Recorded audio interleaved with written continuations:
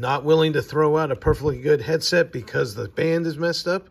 Stay tuned to find out how we fix this. Hey everybody, it's the Chang again. Hope you're all doing well. Today we're going to talk about how we can go ahead and get this particular thing quote unquote fixed on a set of Howard Leight Impact Sports that I've had for about six years. But before we get into that, please give us a thumbs up if you like this video. Please subscribe to the channel, help us out with that algorithm, and hit that bell notification off to the right there so that you are notification notified sorry, of any new content that we might post. So on a previous video, you saw that it replaced the uh, the ear pads here with the hygiene kit from Howard Leight. Like I said, these are about six, seven years old. They are one of the original pairs of Howard Leights that I was using when I was at uh, French Creek Outfitters many, many years ago. They've been closed for about two, three years now. So these are quite old. And what happens with storage and use is that the headband starts to get worn out. And even with replacing the hygiene kit, as people put these on, because these are a pair of loaners, the uh, this stuff all starts to flake off and people you know, not fans of it. So looks pretty bad. Well, enter in one of these things. These still work perfectly fine. I don't feel like tossing them just because I have to buy a headband. So uh, found this product on Amazon. I'll actually put a link to it in the description below.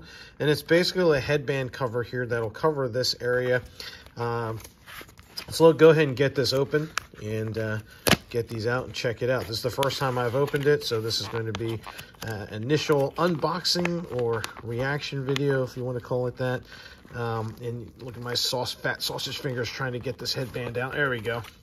All right, so um, has a little D-ring for using a carabiner to hook this onto your belt. Initial thoughts looking at the stitching. Stitching is okay, a little bit, a little bit frayed kind of on this end. Not sure how heavy duty this this is, and it's you know it's not a pure tactical brand. I'm sure it's meant for airsoft or for the cheapest thing possible. This is absolutely very very thin. Uh, very little to no padding here. Uh, a couple other brands that I have uh, have padding, so this is no padding at all. Um, the easiest thing to do is open it, kind of fold it halfway like this get it inserted here. And we're just going to follow along with the contours of the, of the band. And we'll get this to fold it in here on one end. Make sure it's relatively aligned. Relatively aligned on that end. Relatively aligned on that end.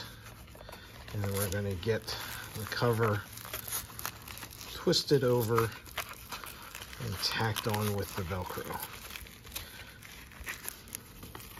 Okay. So this is meant to fit a bunch of different brands of uh, headsets.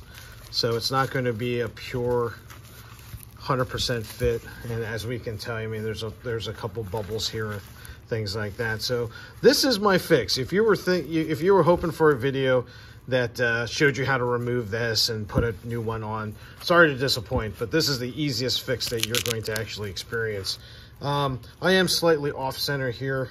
I'm gonna fix that off camera because you all don't need to see me struggling with this. But here you go. Seems to fit okay, right? I can still get these back in here. Um, nice. This was the cheapest one, actually, this this uh, dark multicam or jungle multicam that they had. So there you go. Still perfectly good, still works fine. Now got a little wrap on it, so I won't get that uh, the black flecks on people's heads and hats when they when they uh, use these as their loaners. So there you go. Hopefully you found this helpful. I will put a link to the product in the description down below. If you enjoyed this video, please give us a thumbs up. Love to have you subscribe to the channel and click that bell notification icon off to the right so you get notified of anything new that we might post. Thank you so much. Have a great day. Stay safe and we'll see you out on the range.